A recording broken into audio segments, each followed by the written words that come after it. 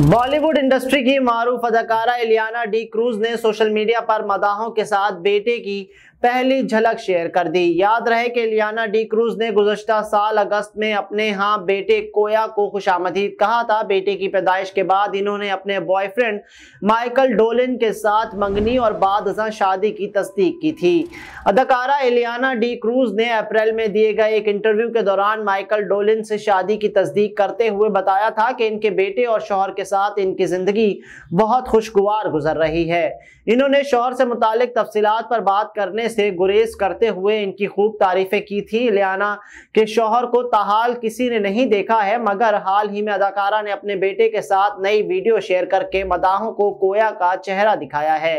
Ileana D'Cruz ने अपने Instagram पर नई वीडियो शेयर की है, जिसमें इनके बेटे के चेहरे को वाज तौर पर देखा जा सकता है। इलियाना डी क्रूज ने अपने इस पोस्ट के कैप्शन में बताया कि हाल ही मैं ज़िंदगी